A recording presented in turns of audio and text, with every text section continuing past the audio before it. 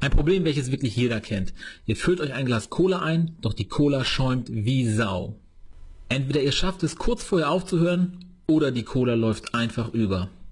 Doch auch hierfür gibt es einen genialen Trick, der dafür sorgt, dass eure Cola nie wieder schäumt. Alles, was ihr dafür tun müsst, ist euch etwas Whisky in euer Glas zu kippen. Welche Marke ist übrigens völlig egal. Und nun kippt ihr die Cola drauf. Und wie durch ein Wunder schäumt die Cola kein Stück mehr. Dieser Trick ist wirklich super simpel. Teile dieses Video mit all deinen Freunden, damit niemals wieder eine Cola beim Einkippen überschäumen muss. Ebenfalls kleiner Nebeneffekt, die Cola schmeckt auch noch ein wenig besser. Also, viel Spaß beim Nachmachen.